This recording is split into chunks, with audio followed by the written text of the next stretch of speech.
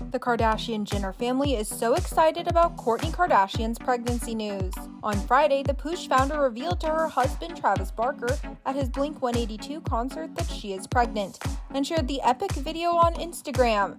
And now her sisters are sharing the love. Kim Kardashian reacted in the comments on the post with a bunch of emojis, including a pregnancy emoji, a smile with hearts emoji, and a crying emoji. Kylie also reacted with a bunch of heart eye emojis. This is Travis's first baby together.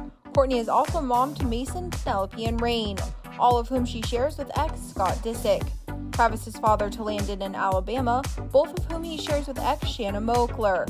He also has a close bond with Atiana De La Hoya, Shanna's daughter from a previous relationship. Access Hollywood previously spoke with Court, and she shared about her desire to expand her family.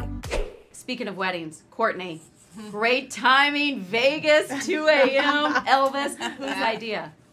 Uh, the second we got to Eight Vegas, no, the second we got to Vegas, actually, we just started, you know, talking about the idea, and then after some eight one eight, it was just there was no option. How soon from maybe the real deal? Your first wedding. I don't know. We're just kind of seeing how we feel.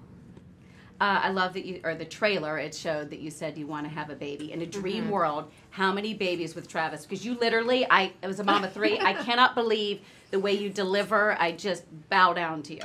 Um, I would love to in a dream world.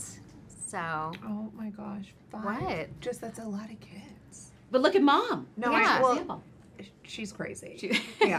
and we each have three, kids. so six, seven, eight.